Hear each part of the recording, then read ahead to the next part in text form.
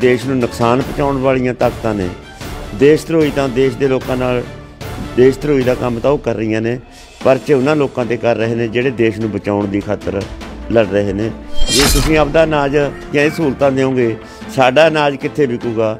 ਯਾਨੀ ਉਹ ਵਿਕਸਿਤ ਮੁਲਕਾਂ ਦਾ ਅਨਾਜ ਵੇਚਣ ਦੀ ਖਾਤਰ, ਉਹਨਾਂ ਦੀਆਂ ਲੋੜਾਂ ਪੂਰੀਆਂ ਕਰਨ ਦੀ ਖਾਤਰ, ਉਹਨਾਂ ਦੇ ਦਬਾਅ ਤਹਿਤ ਵਿਸ਼ਵ ਭਰ ਸੰਸਥਾ ਨੀਤੀਆਂ ਬਣ ਕੇ ਆਪਣੇ ਦੇਸ਼ ਦੇ ਲੋਕਾਂ ਨਾਲ ਧੋਖਾ ਕਰ ਰਹੇ ਨੇ। ਹਵਾਈ ਅੱਡੇ ਨੇ ਕੋਲੇ ਦੀਆਂ ਖਾਣਾ ਨੇ ਪਬਲਿਕ ਸੈਕਟਰ ਉਹਨਾਂ ਦੇ ਹਵਾਲੇ ਕਰਕੇ ਉਹਨਾਂ ਨੂੰ ਮਤਲਬ ਵੱਡੇ ਮੁਨਾਫੇ ਦਿਵਾਉਣ ਦੀ ਖਾਤਰ ਜਿਹੜੀ ਕਿ ਬੀਜੇਪੀ ਦੀ ਸਰਕਾਰ ਹੈ, ਉਹ ਕਾਹੂ ਹੈ ਕਿ ਸਰਕਾਰ ਉਹਨਾਂ ਸਾਰੇ ਅਦਾਰਿਆਂ ਨੂੰ ਜਿਹੜੇ ਇਸ ਘੋਲ ਦੀ ਹਮਾਇਤ ਕਰਦੇ ਨੇ, ਭਾਵੇਂ ਉਹ ਟਰਾਂਸਪੋਰਟ ਨੇ, ਭਾਵੇਂ ਉਹ ਕੋਈ ਮੀਡੀਆ ਵਾਲੇ ਨੇ, ਉਹਨਾਂ ਤੇ ਦਬਾਅ ਪਾਉਣ ਦੀ ਖਾਤਰ ਐਨ ਆਈ ਏ ਵੱਲੋਂ ਉਹਨਾਂ ਨੂੰ ਨੋਟਿਸ ਜਾਰੀ ਕੀਤੇ ਜਾ ਰਹੇ ਨੇ। ਕਿਸਾਨ ਆਗੂ ਜੋਗਿੰਦਰ ਸਿੰਘ ਉਗਰਾਹਾਂ ਨੇ ਕੇਂਦਰ ਨਾਲ ਹੋਈ ਮੀਟਿੰਗ 'ਚ ਚੁੱਕੇ ਗਏ ਮੁੱਦਿਆਂ ਦੀ ਚਰਚਾ ਕੀਤੀ ਹੈ। ਨਾਲ ਹੀ ਉਗਰਾਹਾਂ ਨੇ ਕੈਪਟਨ ਸਰਕਾਰ ਨੂੰ ਨਿਸ਼ਾਨੇ ਤੇ ਲਿਆ ਹੈ। ਉਗਰਾਹਾਂ ਦਾ ਕਹਿਣਾ ਹੈ ਕਿ ਸਰਕਾਰ ਕਾਰਪੋਰੇਟ ਘਰਾਣਿਆਂ ਨੂੰ ਫਾਇਦਾ ਪਹੁੰਚਾਉਣਾ ਚਾਹੁੰਦੀ ਹੈ। ਨਾਲ ਹੀ ਉਹਨਾਂ ਕਿਹਾ ਕਿ ਮੋਦੀ ਸਰਕਾਰ ਦੇ ਖੇਤੀ ਕਾਨੂੰਨ ਵਾਪਸ ਨਾ ਲੈਣ ਦੇ ਪਿੱਛੇ ਵਿਸ਼ਵ ਵਪਾਰ ਸੰਸਥਾ ਅਤੇ ਵਿਸ਼ਵ ਮੁਦਰਾ ਕੋਸ਼ ਦਾ ਹੱਥ ਹੈ। ਮੈਂ ਜੋਗਿੰਦਰ ਸਿੰਘ ਉਰਾਹਾਂ ਸੂਬਾ ਪ੍ਰਧਾਨ ਭਾਰਤੀ ਕਿਸਾਨ ਏਕਤਾ ਉਰਾਹਾਂ ਮੈਂ ਸਾਰੇ ਕਿਸਾਨ ਭਰਾਵਾਂ ਨੂੰ ਬੇਨਤੀ ਕਰਦਾ ਵੀ ਜਿਹੜੀ ਕੱਲ ਮੀਟਿੰਗ ਹੋਈ ਹੈ, ਮੀਟਿੰਗ ਦੇ ਵਿੱਚ ਸਰਕਾਰ ਆਪਣੀ ਗੱਲ ਤੇ ਉੱਥੇ ਅੜੀ ਹੋਈ ਹੈ। ਉਹ ਚਰਚਾ ਕਰ ਲਓ ਜੀ, ਸੋਧਾਂ ਕਰਾ ਲਓ ਜੀ, ਸੋਧਾਂ ਕਰ ਲਾਂਗੇ ਜੀ। ਐਮਐਸਪੀ ਚਾਲੂ ਹੈ ਐਮਐਸਪੀ ਚਾਲੂ ਰਹੂਗੀ, ਇਹਦੀ ਅਸੀਂ ਗਰੰਟੀ ਕਰਦੇ ਹਾਂ। ਜਵਾਨੀ ਕਵਾਨੀ ਗੱਲਾਂ ਤੇ ਛੋਟੀ ਕਮੇਟੀ ਬਣਾ ਲਓ ਜੀ। ਛੋਟੀ ਕਮੇਟੀ ਪਹਿਲਾਂ ਚਰਚਾ ਕਰ ਲੂਗੀ, ਫਿਰ ਕਿਸੇ ਗੱਲ ਨਵੇੜੇ ਤੇ ਹੋ ਜੂਗੀ। ਅਸੀਂ ਖੁੱਲੇ ਮਨ ਨਾਲ ਗੱਲ ਨੂੰ ਤੇ ਗੱਲ ਕਰਨ ਨੂੰ ਤਿਆਰ ਹਾਂ। ਇਹ ਗੱਲਾਂ ਉਧਰੋਂ ਆਈਆਂ ਨੇ। ਯਾਨੀ ਉਹ ਮੀਟਿੰਗ ਦੇ ਵਿੱਚ ਇਹ ਗੱਲ ਵੀ ਬਹੁਤ ਜ਼ੋਰ ਨਾਲ ਰੱਖੀ ਗਈ ਹੈ ਕਿ ਸਰਕਾਰ ਉਹਨਾਂ ਸਾਰੇ ਅਦਾਰਿਆਂ ਨੂੰ ਜਿਹੜੇ ਇਸ ਘੋਲ ਦੀ ਹਮਾਇਤ ਕਰਦੇ ਨੇ, ਭਾਵੇਂ ਉਹ ਟਰਾਂਸਪੋਰਟ ਨੇ, ਭਾਵੇਂ ਉਹ ਕੋਈ ਮੀਡੀਆ ਵਾਲੇ ਨੇ, ਉਹਨਾਂ ਤੇ ਦਬਾਅ ਪਾਉਣ ਦੀ ਖਾਤਰ ਐਨ ਆਈ ਏ ਵੱਲੋਂ ਉਹਨਾਂ ਨੂੰ ਨੋਟਿਸ ਜਾਰੀ ਕੀਤੇ ਜਾ ਰਹੇ ਨੇ। ਉਹਨਾਂ ਤੇ ਦਬਾਅ ਪਾਇਆ ਜਾ ਰਿਹਾ, ਉਹਨਾਂ ਹਿੱਸਿਆਂ ਤੇ ਇਸ ਦੀ ਗੱਲ ਦੀ ਵੀ ਚਰਚਾ ਲਿਆਂਦੀ ਗਈ ਕਿ ਉਹਨਾਂ ਦੀ ਨੱਥ ਪਾਈ ਜਾਵੇ, ਉਹਨਾਂ ਨੂੰ ਰੋਕਿਆ ਜਾਵੇ। ਇਸ ਤਰ੍ਹਾਂ ਦੀਆਂ ਕਾਰਵਾਈਆਂ ਜਿਹੜੀ ਜੇ ਉਹਨਾਂ ਤੇ ਜੂਏ, ਪੀਏ ਵਰਗੇ ਪਰਚੇ ਦਰਜ ਕੀਤੇ ਜਾ ਰਹੇ ਨੇ, ਦੇਸ਼ ਧਰੋਹੀ ਦੇ ਵਰਗੇ। ਜਦੋਂ ਕਿ ਦੇਸ਼ ਧਰੋਹੀ ਵਰਗੀਆਂ ਦੀਆਂ ਕਾਰਵਾਈਆਂ ਬੀਜੇਪੀ ਸਰਕਾਰ ਕਰ ਰਹੀ ਹੈ। ਦੇਸ਼ੀ ਵਿਦੇਸ਼ੀ ਕੰਪਨੀਆਂ ਨੂੰ ਬੁਲਾ ਕੇ ਪਬਲਿਕ ਸੈਕਟਰ ਉਹਨਾਂ ਦੇ ਹਵਾਲੇ ਕਰ ਰਹੀ ਹੈ। ਸਾਡੇ ਵੱਡੇ ਵੱਡੇ ਘਰਾਣਿਆਂ ਦੇ ਹਵਾਲੇ ਕਰ ਰਹੀ ਹੈ, ਜਿਨੇ ਬਸ ਸਾਡੇ ਬੰਦਰਗਾਹਾਂ ਨੇ, ਹਵਾਈ ਅੱਡੇ ਨੇ, ਕੋਲੇ ਦੀਆਂ ਖਾਣਾ ਨੇ, ਪਬਲਿਕ ਸੈਕਟਰ ਉਹਨਾਂ ਦੇ ਹਵਾਲੇ ਕਰਕੇ ਉਹਨਾਂ ਨੂੰ ਮਤਲਬ ਵੱਡੇ ਮੁਨਾਫੇ ਦਿਵਾਉਣ ਦੀ ਖਾਤਰ ਜਿਹੜੀ ਕਿ ਬੀਜੇਪੀ ਦੀ ਸਰਕਾਰ ਹੈ, ਉਹ ਤਾਹੂ ਹੈ।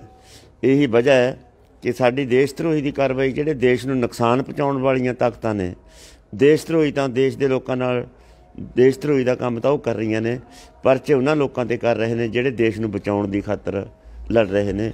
ਇਸ ਕਰਕੇ ਇਹ ਬੰਦ ਕੀਤੀ ਜਾਵੇ, ਇਹ ਜ਼ੋਰ ਨਾਲ ਯਾਨੀ ਪੁੱਟ ਕੀਤੀ ਹੈ। ਦੂਜੀ ਗੱਲ ਇਹ ਹੈ ਵੀ ਅੱਜ ਜਿਹੜਾ ਅਸੀਂ ਕਿਹਾ ਸੀਗਾ ਵੀ ਇਹਦੇ ਪਿੱਛੇ ਵੱਡੀ ਤਾਕਤ ਹੈ, ਜਿਹੜੇ ਖੇਤੀ ਕਾਨੂੰਨਾਂ ਨੂੰ ਰੱਦ ਕਰਾਉਣ ਵਾਸਤੇ ਕੇਂਦਰ ਸਰਕਾਰ ਅੜੀ ਹੋਈ ਹੈ ਇਹਦੇ ਪਿੱਛੇ ਬਹੁਤ ਵੱਡੀ ਤਾਕਤ ਹੈ, ਬਹੁਤ ਵੱਡੀ ਨੀਤੀ ਹੈ।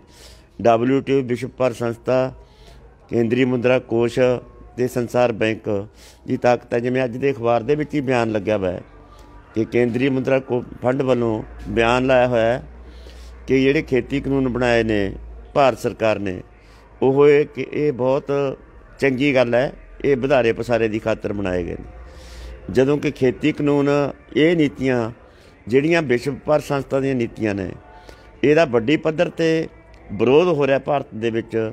ਭਾਰਤ ਦੇ ਲੋਕ ਇਹਨਾਂ ਨੂੰ ਪਸੰਦ ਨਹੀਂ ਕਰਦੇ। ਭਾਰਤ ਦੇ ਲੋਕ ਇਹ ਨਾਰਾ ਮਾਰ ਰਹੇ ਨੇ ਕਿ ਭਾਰਤ ਵਾਲਿਓ ਵਿਸ਼ਵ ਭਰ ਸੰਸਥਾ ਤੋਂ ਬਾਹਰ ਆਓ। ਯਾਨੀ ਇੱਕ ਬਹੁਤ ਵੱਡੀ ਚਾਲ 2013 ਦੇ ਵਿੱਚ, ਇੱਕ ਬਾਲੀ ਮੁਲਕ ਦੇ ਵਿੱਚ, ਇੱਕ ਛੋਟਾ ਜਿਹਾ ਮੁਲਕ ਹੈ, ਉੱਥੇ ਵਿਸ਼ਵ ਵਪਾਰ ਸੰਸਥਾ ਦੀ ਮੀਟਿੰਗ ਹੋਈ। ਉੱਥੇ ਸਾਫ਼ ਤੌਰ ਤੇ ਕਿਹਾ ਗਿਆ ਵਿਸ਼ਵ ਵਪਾਰ ਸੰਸਥਾ ਵੱਲੋਂ ਕਿ ਤੁਸੀਂ ਭਾਈ ਭਾਰਤ ਵਾਲਿਓ ਆ ਜਿਹੜੀ ਸਰਕਾਰੀ ਖਰੀਦ ਹੈ, ਇਹਨੂੰ ਬੰਦ ਕਰੋ ਐਮਐਸਪੀ ਬੰਦਨਾ ਬੰਦ ਕਰੋ ਆ ਜਿਹੜੀ ਪੀਡੀਐਸ ਦੀ ਸਕੀਮ ਤੁਸੀਂ ਦਿੰਨੇ ਹੋ, ਇਹਨੂੰ ਲਾਗੂ ਕਰਨਾ ਬੰਦ ਕਰੋ, ਕਿਉਂਕਿ ਤੁਹਾਡੇ ਅਨਾਜ ਨੂੰ, ਜੇ ਤੁਸੀਂ ਆਪਦਾ ਅਨਾਜ ਜਾਂ ਇਹ ਸਹੂਲਤਾਂ ਦਿਓਗੇ, ਸਾਡਾ ਅਨਾਜ ਕਿੱਥੇ ਵਿਕੂਗਾ? ਯਾਨੀ ਉਹ ਵਿਕਸਿਤ ਮੁਲਕਾਂ ਦਾ ਅਨਾਜ ਵੇਚਣ ਦੀ ਖਾਤਰ, ਉਹਨਾਂ ਦੀਆਂ ਲੋੜਾਂ ਪੂਰੀਆਂ ਕਰਨ ਦੀ ਖਾਤਰ, ਉਹਨਾਂ ਦੇ ਦਬਾਅ ਤਹਿਤ ਵਿਸ਼ਵ ਪਰ ਸੰਸਥਾ ਦੀ ਨੀਤੀਆਂ ਬਣ ਕੇ ਆਪਣੇ ਦੇਸ਼ ਦੇ ਲੋਕਾਂ ਨਾਲ ਧੋਖਾ ਕਰ ਰਹੇ ਨੇ, ਆਪਦੇ ਦੇਸ਼ ਦੇ ਲੋਕਾਂ ਨੂੰ ਤਬਾਹ ਕਰ ਰਹੇ ਨੇ, ਉਹਨਾਂ ਦੀਆਂ ਨੀਤੀਆਂ ਉਹਨਾਂ ਦੇ ਮੁਤਾਬਕ ਲਾਗੂ ਹੁੰਦੀਆਂ ਨੇ। ਇਸ ਕਰਕੇ ਇਹ ਬਹੁਤ ਵੱਡੀ ਗੱਲ ਹੈ, ਇਹ ਵਿਚਾਰਨ ਵਾਲੀ ਗੱਲ ਹੈ। ਜਿਹੜੀ ਮੋਦੀ ਸਰਕਾਰ ਅੜੀ ਖੜੀ ਹੈ ਵੀ ਇਹ ਕਾਨੂੰਨ ਵਾਪਸ ਨਹੀਂ ਲੈਣੇ, ਤਾਂ ਇਹਦੇ ਪਿਛਲੇ ਪਾਸੇ ਵਿੱਚ ਪਰ ਸੰਸਥਾ ਤੇ ਇਹ ਕੇਂਦਰੀ ਮੁਦਰਾ ਕੋਸ਼, ਇਹਦੇ ਪਿੱਛੇ ਖੜੇ ਨੇ। ਇਹ ਇਹਨਾਂ ਨੂੰ ਪਰਖਣ ਦੀ ਲੋੜ ਹੈ। ਇਸ ਕਰਕੇ ਸਮਝਣ ਦੀ ਲੋੜ ਹੈ ਕਿ ਇਹ ਬਹੁਤ ਵੱਡੀ ਲੜਾਈ ਹੈ। ਦੂਜੀ ਗੱਲ ਹੈ ਜਿਹੜੀ 26 ਤਰੀਕ ਵਾਲੀ 26 ਤਰੀਕ ਦਾ ਪ੍ਰੋਗਰਾਮ ਹੈ, ਗਣਤੰਤਰ ਦਿਵਸ ਮਨਾਉਣ ਦਾ ਪ੍ਰੋਗਰਾਮ ਹੈ। ਸਾਰੀਆਂ ਜਥੇਬੰਦੀਆਂ ਵੱਲੋਂ ਜ਼ੋਰ ਨਾਲ ਇਹ ਪ੍ਰੋਗਰਾਮ ਕੀਤਾ ਜਾ ਰਿਹਾ ਹੈ। ਇਸ ਕਰਕੇ ਇਹਦੇ ਤੇ ਸਾਰੇ ਕਿਸਾਨ ਭਰਾਵਾਂ ਨੂੰ ਸੱਦਾ ਹੈ, ਪੂਰੇ ਜ਼ੋਰ ਨਾਲ ਆਓ। ਇਹ ਸੱਦੇ ਦੇ ਵਿੱਚ ਇੱਕ ਗੱਲ ਸਾਫ਼ ਹੈ ਵੀ ਨਾ ਇਹ ਲਾਲ ਕਿਲੇ ਦੇ ਝੰਡਾ ਚੜਾਉਣ ਵਾਲਾ ਸੱਦਾ ਹੈ, ਨਾ ਇਹ ਪਾਰਲੀਮੈਂਟ ਤੇ ਕਬਜ਼ਾ ਕਰਨ ਵਾਲਾ ਸੱਦਾ ਹੈ, ਨਾ ਹੀ ਅਸੀਂ ਉਹਨਾਂ ਦੀ ਪਰੇਡ ਦੇ ਵਿੱਚ ਦਾਖਲ ਹੋਣ ਦਾ ਕੋਈ ਸੱਦਾ ਹੈ। ਇਹ ਸ਼ਾਂਤਮਈ ਪੀਸਫੁਲ ਅੰਦੋਲਨ ਦੇ ਤੌਰ ਤੇ ਆਪਦੇ ਅਧਿਕਾਰਾਂ ਦੀ ਵਰਤੋਂ ਕਰਨ ਦੀ ਖਾਤਰ ਸਾਡਾ ਦਿੱਲੀ ਦੇ ਵਿੱਚ ਮਾਰਚ ਕਰਨ ਦਾ ਸੱਦਾ ਹੈ। ਇਹਨੂੰ ਸਰਕਾਰ ਕੀ ਕਰਦੀ ਹੈ, ਇਹ ਸਰਕਾਰ ਨੇ ਦੇਖਣਾ ਪਰ ਅਸੀਂ ਜ਼ੋਰ ਨਾਲ ਇਹ ਗੱਲ ਨੂੰ ਵਿਚਾਰਨਾ ਜੀ 17 ਤਰੀਕ ਦੀ ਮੀਟਿੰਗ ਹੋ ਰਹੀ ਹੈ ਜਥੇਬੰਦੀਆਂ ਦੀ ਜਿਹੜੀ ਕੱਲ ਨੂੰ ਉਹਦੇ ਵਿੱਚ ਵਿਚਾਰਿਆ ਜਾਊਗਾ ਵੀ ਅਸੀਂ ਕੀ ਕਰਨਾ ਹੈ, ਕੀ ਕਿੱਧਰ ਨੂੰ ਵਧਣਾ ਹੈ ਕਿੱਥੋਂ ਦੀ ਵਧਣਾ ਹੈ, ਕਿੰਨਾ ਕੁ ਵਧਣਾ ਹੈ, ਇਹ ਗੱਲਾਂ ਉੱਥੇ ਵਿਚਾਰੀਆਂ ਜਾਣਗੀਆਂ। ਇਸ ਕਰਕੇ ਸੱਦਾ ਵੀ ਤੁਸੀਂ ਇੱਥੇ ਜ਼ੋਰ ਨਾਲ ਪਹੁੰਚੋ। ਖੇਤੀ ਕਾਨੂੰਨਾਂ ਨੂੰ ਲੈ ਕੇ ਕਿਸਾਨਾਂ ਅਤੇ ਕੇਂਦਰ ਦੇ ਦਰਮਿਆਨ ਹੋਈ ਮੀਟਿੰਗ ਇੱਕ ਵਾਰ ਫਿਰ ਬੇਸਿੱਟਾ ਰਹੀ ਹੈ। ਹੁਣ ਕਿਸਾਨਾਂ ਵੱਲੋਂ 26 ਜਨਵਰੀ ਨੂੰ ਟਰੈਕਟਰ ਮਾਰਚ ਦੀਆਂ ਤਿਆਰੀਆਂ ਸ਼ੁਰੂ ਕਰ ਦਿੱਤੀਆਂ ਗਈਆਂ ਨੇ ਤੇ ਦੂਜੇ ਪਾਸੇ ਕੇਂਦਰ ਵੱਲੋਂ 19 ਜਨਵਰੀ ਨੂੰ ਦੁਬਾਰਾ ਮੀਟਿੰਗ ਰੱਖੀ ਗਈ ਹੈ। ਦੇਖਣਾ ਹੋਵੇਗਾ ਕਿ ਇਸ ਮੀਟਿੰਗ 'ਚ ਕੀ ਸਿੱਟੇ ਨਿਕਲ ਕੇ ਸਾਹਮਣੇ ਆਉਂਦੇ ਨੇ। Bureau report D5 channel Punjabi. D5 channel Punjabi. ਹੁਣੇ ਸਬਸਕ੍ਰਾਈਬ ਕਰੋ ਬੈਲ ਆਈਕਨ ਤੇ ਕਲਿੱਕ ਕਰੋ।